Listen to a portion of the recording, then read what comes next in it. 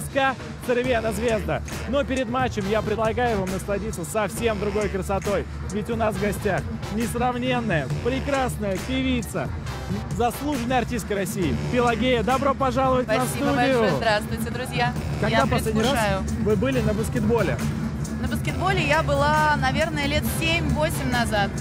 В общем, первый и последний раз. Сегодня у меня вторая, второе пришествие. Тогда у нас для вас есть конкурс. А, Сейчас посмотрим с вами на экран и будем показывать вам фотографии. Так. Задача определить, это музыкант, баскетболист, музыкант или Баскетболист. баскетболист. Баскетболист. Да. Правильный ответ это Уилл Клайберн. Прямо сейчас он разминался за а, нашей студией. Я, Уилл по, я Клайберн, по- я по плечам узнала, знаете. Мне А, кажется, плечи у него не смутили, такие... да, бандана. Нет, нет, все красиво. Сейчас мы кое-что про вас узнаем поподробнее. Так, это Никита. Ай, да как вас привести? Невозможно. Как меня провести на баскетбол? Никита Курбанов, отлично. Вы прекрасно справились. Пелагея, вы ассоциируетесь не только с красотой, но и с Россией, как и ЦСКА. Скажите, почему ЦСКА, как давно вы начали болеть за эти четыре буквы? Тоже, опять же, все началось э, с Саши Радулова, он тогда играл за ЦСКА. И как-то так сложились обстоятельства. А Мне кажется, что потом уже я начала изучать историю клуба. И, в общем, э, много лет э, болела и за хоккей, и, в общем, за баскет тоже. Потому что, когда я смотрю по телевизору баскетбол, конечно, ну, как бы, насколько я понимаю, все равно красно-синий самый сильный. И, в общем, ЦСКА — это команда мечты. Одна мечта, одна команда. Торники Шенгелия против Эфеса. Ну как? Ой, ну круто. Давайте еще раз посмотрим повтор. И Ой, туда. да, э, о, это Давайте, круто. по 10 бальной. По 10 Десять. баль. 10. Да, это очень Следующий круто. дан. Кольцо после Никиты Курбанова вообще не факт, что успели починить. Капитан команды, вы знаете. Ой, я 10. тоже, можно 10? Тоже 10. Потому что я, конечно, честно признаюсь, э, в тактике не сильна баскетбольной, но Да? Это нормально, это звук Евролиги. Значит, что матч все ближе и ближе. это не значит, что нам, да, что нам пора искать свое местечко. И на самом деле я жду крутых эмоций, конечно же, и а, чтобы мы победили. И у нас новый гость, стендап-комик, э, продюсер женского стендапа на ТНТ Игорь Джабраилов. Игорь, привет! Добро Здорово. пожаловать к нам в студию. Насколько плотно вообще следите за командой? Блин, в последнее время получается меньше, потому что, ну, если было больше времени, вы бы меня сюда не позвали, потому что вы бы не знали, ну, чем я занимаюсь. Да. Вот. А вообще, ну, я стараюсь хотя бы увидеть результаты, ну, чтобы написать друзьям там, поздравляю. Много друзей болеют за ЦСКА? А мы в Шадринске играли в баскетбол, откуда я родом, и мы все мечтали попасть в ЦСКА, и так или иначе мы все следим все равно за командой. Ну, то есть прямо сейчас мы в эфире, прямо под нами э, герб клуба. Вы здесь, ну, попали в ЦСКА, считай? я, я в ЦСКА. В ЦСКА, получается? Получается так? Работу автора, сценариста, продюсера, работа за кадром. С чем можно сравнить из мира баскетбола? топ-менеджеры, наверное, клуба, которые именно отвечают за состояние вообще всего. То есть мы должны следить и за нашими работниками, за авторами, и за девочками, допустим, в женском стендапе, за их и состоянием, и состоянием юмора, Да, и финансовым состоянием.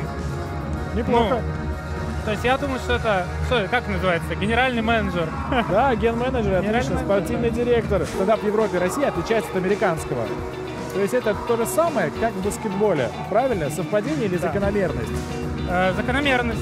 Был период и в Европе, и у нас в стране, когда мы не могли развивать ни спорт, ни тем более юмор, потому что было грустное время. И вообще был другой строй, и мы не могли развивать культуру.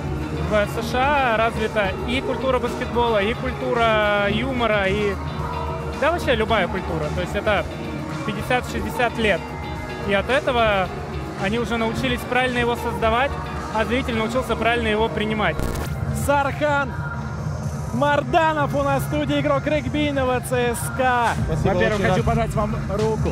Во-вторых, спросить, как часто вообще смотрите баскет? Бываете ли?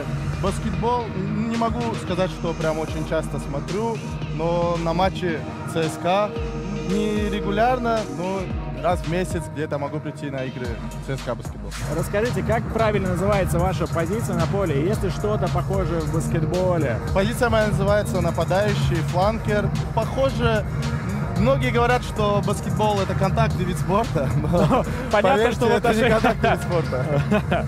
Насколько похожи тренировки у профессиональных спортсменов, регбистов и баскетболистов, группы мышц, возможно, какие-то? Но я уверен, то, что в зале мы примерно работаем над теми же самыми упражнениями и мышцами. Это работа со штангами, постоянная, можно сказать.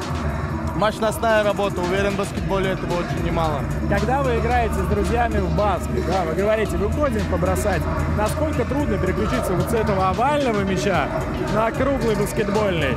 Но, но мне кажется, это какой-то стереотип, что очень сложно переходить с овального на круглый. Потому что, я думаю, Вот спортсмен, спортсмен, он спортсмен во всем. То есть мы можем выйти в футбол поиграть, и баскетбол покидать мячик. Ну, это вполне нормально. И у нас в гостях прекрасная телеведущая Александра Лыскова. Да, Александра, здравствуйте. Здрасте, Вы не здрасте. одна? Да, я не одна, я с куколкой. А, дело в том, что давай начнем с того, как ее зовут. Ее зовут Рыжуля, пожалуйста, посмотрите. А, это, так скажем, талисман ЦСКА, который на самом деле бывает почаще многих других на выездных матчах. И она-то баскетбола больше видит, чем многие, так скажем, живые люди. Это куколка одного из болельщиков ЦСКА преданных болельщиков. Алексея, я думаю, его все прекрасно знают и очень часто видят на баскетболе. Но вот так вот а, сегодня она с нами в студии, не только я с тобой. Мы знаем, что у вас не может быть любимчиков в команде ЦСКА. Так, так. Но, возможно, вы за кем-то следите чуточку больше, чем за кем-то другим. Чья-то Я- игра вам нравится Я больше. скажу так, я а, за стабильность, как любая девушка. Вот. И, наверное, говоря о, об игроках, а, мне очень симпатичен Фойтман. Я обожаю игроков, которые независимо ни от чего свои 10-15 очков наберут. И для меня самый стабильный вот в данный момент ЦСКА это именно Фойтман. Погодите, вы говорите Юханес Войтман, Так, да. а, но при этом а, есть только Шенгели, набрал 23 очка, Так, да. рекорд свой личной результативности против Эфеса, а потом побил его собственный же на следующей игре против Зенита. То есть мне сейчас Невероятно. надо Шенгеля похвалить? Да. Ну давайте его похвалим. Я думаю, его не хвалить надо, а желать ему здоровья, потому что парень выпал на два месяца. Это очень много. И, конечно, вот он феерил и в матче с Эфесом, да, который мы сейчас видим на экране, а, и в последней игре с Зенитом. Вот. И его бы сейчас да на площадку, что называется, а он, наверное, вот сегодня со стороны просто будет смотреть.